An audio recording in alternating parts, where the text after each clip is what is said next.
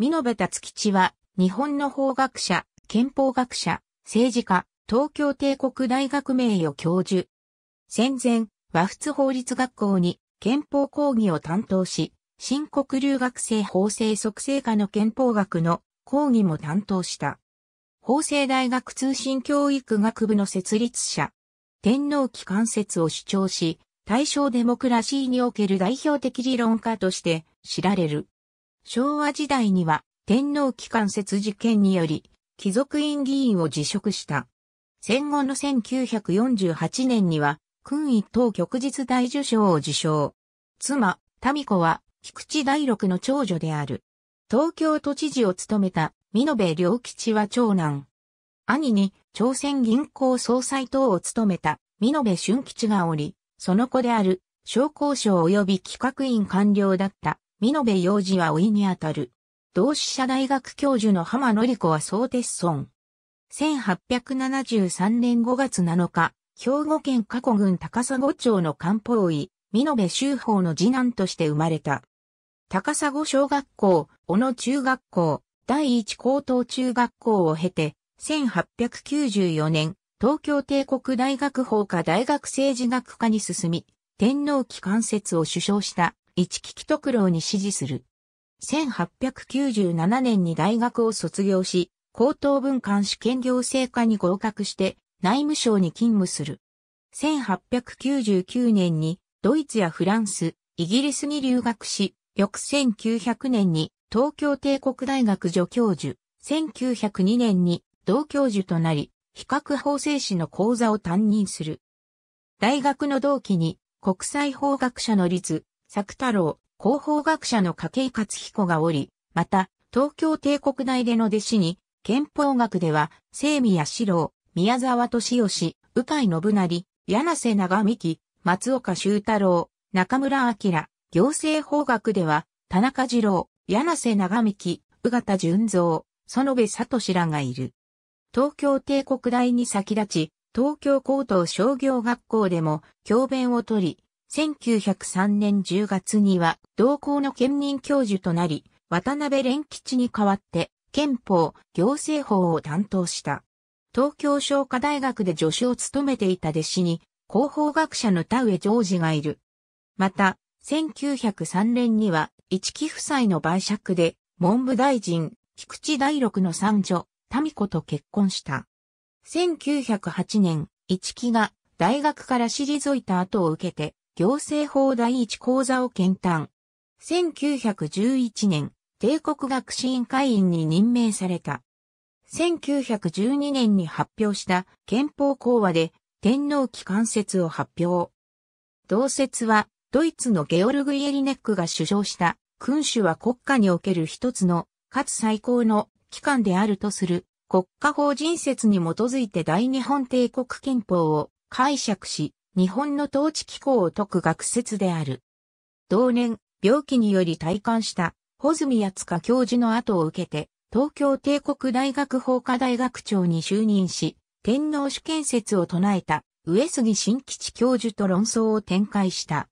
この後天皇機関説は、大正天皇や昭和天皇、当時の政治家や官僚らにとっても当然のものとして受け入れられるようになっていった。1920年、講座増設で憲法第2講座が設けられ、行政法第1講座と検討する。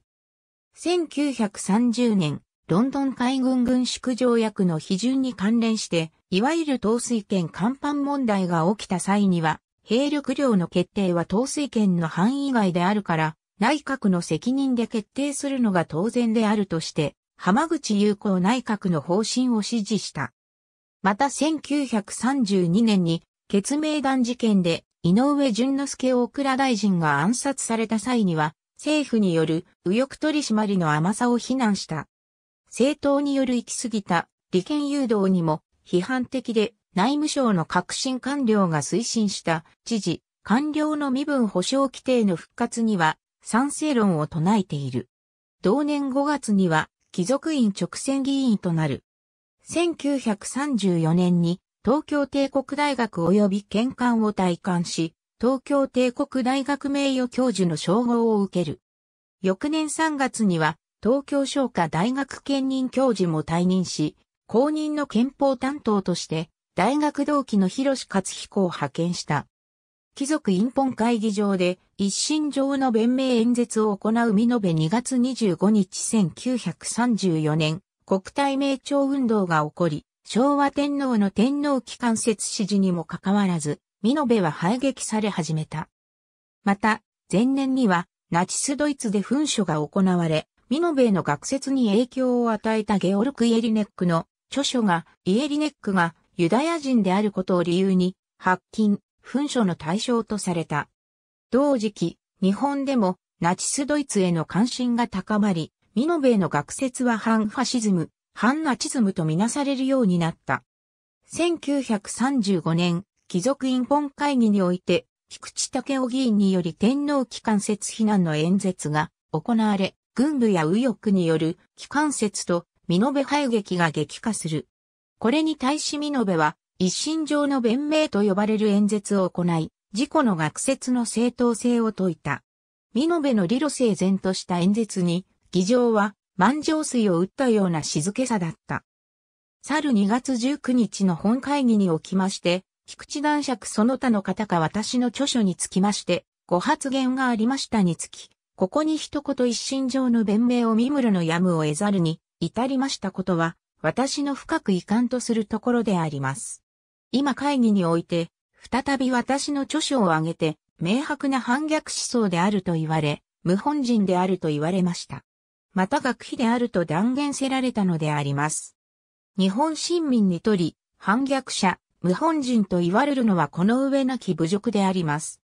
学問を専攻している者にとって、学費と言われることはこらえがたい侮辱であると思います。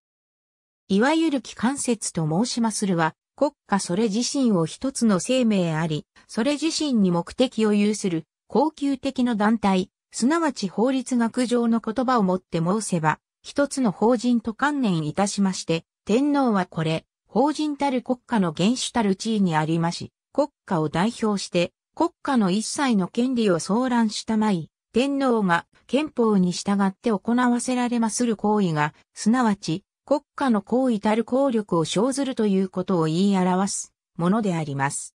一心上の弁明演説しかし、著書は発禁処分となり、不経済の疑いで検事局の取り調べを受けた。同年9月、美延は貴族院議員を辞職し、公職を退いた。しかし、翌1936年には天皇機関説の内容に憤った右翼暴漢の銃撃を受けて重傷を負った。この暴漢小田重曹は一審で懲役8年、控訴した二審では懲役3年の判決を受けた。